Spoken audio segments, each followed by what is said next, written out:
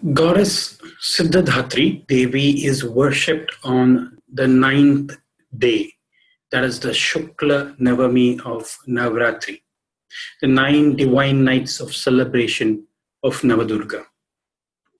Ma Siddhidatri Devi is the ninth manifestation of Goddess Durga and is known to fulfill all divine aspirations of the devotees.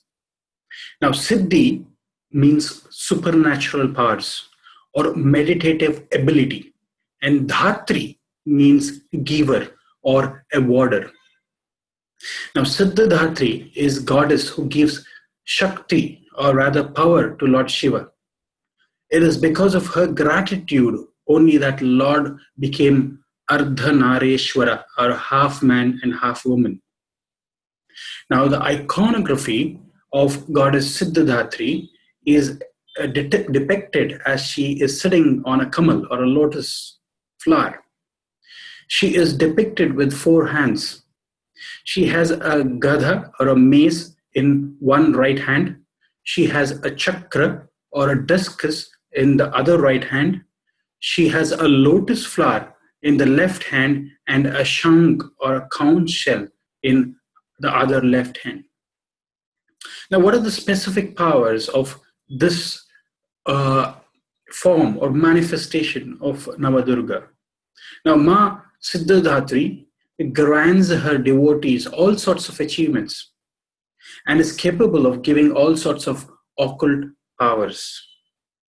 She is the possessor of 26 different siddhis, okay, or wishes she can grant to her worshippers.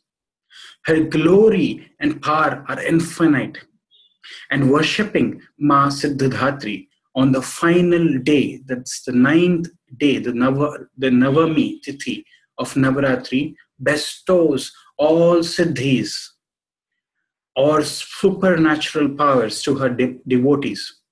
And it also marks the successful completion of the Navratri festival of the Sharad, um, uh, the, the Sharad uh, Navratri.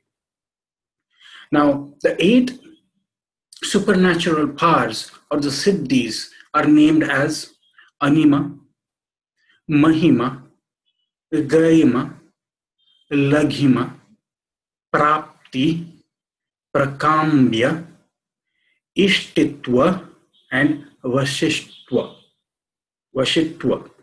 Now, anima means uh, the ability to reduce one body even to the size of an atom, to you know, to reduce in uh, of your the, the size of the body.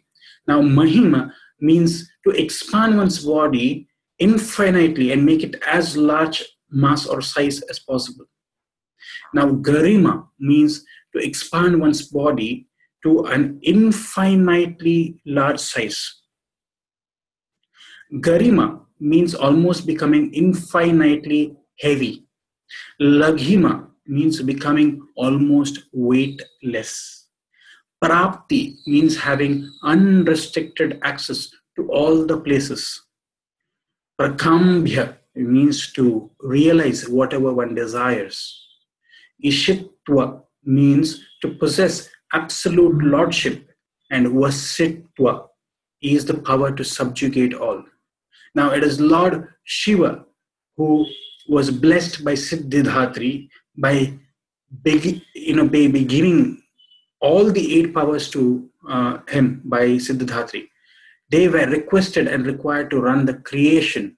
And in his form of Lord Shiva as Ardhanareshwar, half Shiva and half Shakti. This is uh, this all these eight siddhis or supernatural powers were required.